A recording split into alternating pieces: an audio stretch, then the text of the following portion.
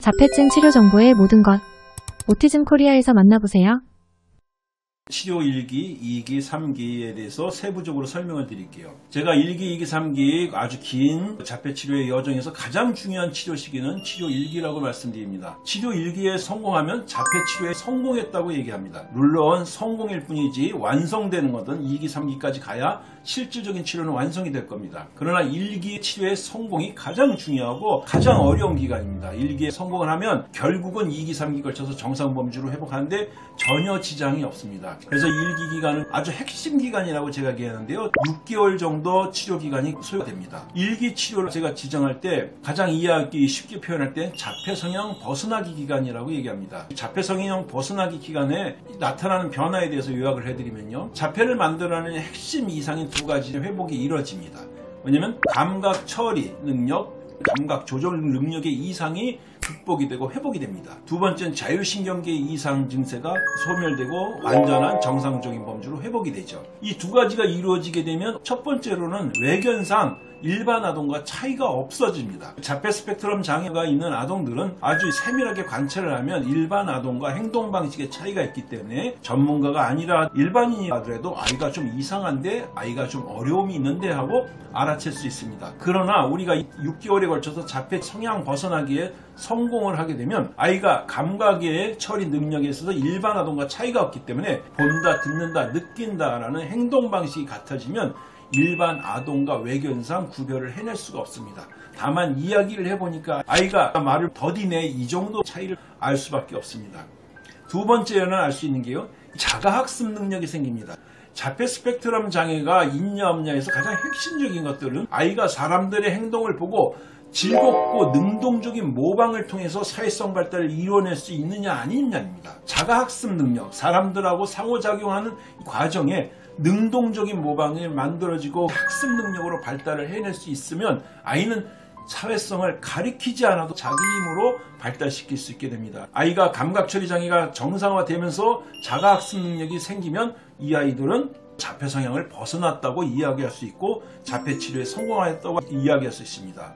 부모님 입장에서는 우리 아이가 1기의 치료 성공에 도달했는지 아닌지는 외견상 일반 아이하고 차이가 있는지 없는지 두 번째 아이가 가르쳐 주지도 않는데 능동적이고 즐거운 즉각적 모방을 하는지 아닌지를 통해서 알 수 있게 됩니다. 이걸 조금 더 세부적으로 얘기하면요. 일곱 가지 변화로 이야기할 수 있습니다. 1번 안정적인 시선 처리 능력이 생깁니다. 두 번째로는 비언어적 의사소통 능력이 회복이 됩니다. 톤이나 표정이나 음성 이런 것들이 안정화돼서 비언어적으로 상호작용이 매우 안정적으로 이루어지는 거죠. 이렇게 감각장애에서 오는 1번, 2번 회복되는 걸 알 수 있고요. 자율신경장애에서 나타나는 변화도 있어야 됩니다. 세 번째로 가장 중요한 건 수면 안정이죠. 수면 전에 각성 현상이 없어져야 되고 중간에 깨는 게 없어져야 되고 일어난 다음에 애가 불안정한 것도 없어집니다. 네 번째로는 감정 정서적으로 매우 안정화됩니다. 불안이나 공포감이 심한 아동들이 있는데 대부분 있죠. 이런 것들이 제거가 되고 애가 굉장히 즐겁고 낙천적이고 개구장이적이고 도전적인 아이로 변화가 될 겁니다. 다섯 번째로는 변비나 소화장애 이상들이 개선돼야 됩니다. 안정적인 소화 능력 회복이 이루어집니다. 그리고 여섯 번째는 실질적으로 학습 능력이 있다는 걸 확인이 되는 거죠. 즐겁고 능동적이고 흥미있는 모방이 출현되게 되고요.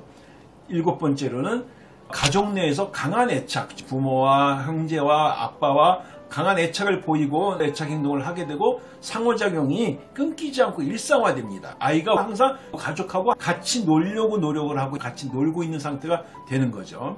이렇게 일기 치료 과정에 통해서 이러한 변화가 나타나면 스스로 사회성을 발달시킬 수 있는 상태가 됐구나라고 해서 자폐 치료에 성공했다고 이야기합니다. 이 과정이 굉장히 길게 이루어지는 게 아닙니다. 저희들이 치료를 하면 거의 순식간에 이루어집니다. 아주 빠른 아이들은 2, 3개월 내에 이루어지고요. 늦어도 6개월 사이에 이 과정에 도달해야 치료가 성공하는 겁니다. 만약 이 과정이 지연되고 있으면 제 치료를 오지게 어려움들이 있는 거기 때문에 치료의 그레이드 변화를 주면서 빠르게 여기 단계까지 진입을 시켜야만 합니다. 이때가 되면 많은 부모님들은 굉장히 놀라운 성과에 만족을 하게 됩니다. 우리 아이가 자폐인 줄 알았는데 자폐가 아닌 듯한 행동을 하게 됩니다.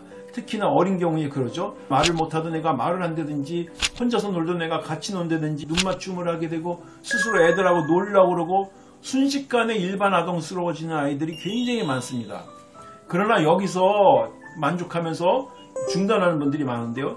이거 명확히 말씀드립니다. 제 치료에서 이 일기 과정을 통해서 성과를 낸 다음에 아이가 좋아지는데 그냥 중단한 분들을 너무 많이 보는데요. 이렇게 되면 자폐 성향은 굉장히 약해진 경증의 아스퍼거 증후군으로 멈춥니다. 결국은 초반에 문제가 안 생기다 2, 3년 지나면 또다시 애들하고 격차가 상당히 벌어진 상태가 되어서 저를 찾는 경우가 많고요. 명확히 아이가 경증의 아스퍼거 증후군에 머물러 있게 됩니다. 또 다른 경우는 자폐 성향을 벗어났지만 인지 능력, 치료 2기가 인지 능력 회복기인데요. 인지 능력을 회복하지 못하는 채 아이가 지능이 떨어지거나 인지 능력이 떨어져서 학습 장애 아동이나 지적 장애 아동 수준에서 머무르는 경우들을 대부분입니다. 자폐 성향 벗어나기에 성공했다고 해서 치료가 완성된 게 아니고 성공을 했고 이제 완성된 경로로 가야 된다는 것을 꼭 이해하셔야 합니다.